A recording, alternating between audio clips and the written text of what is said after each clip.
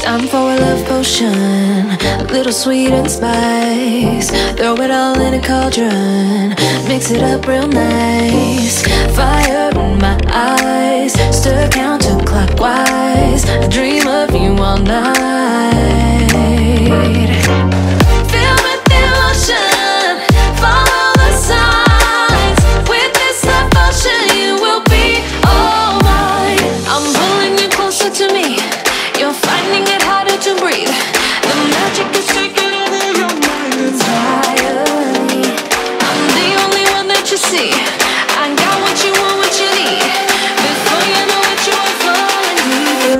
with me.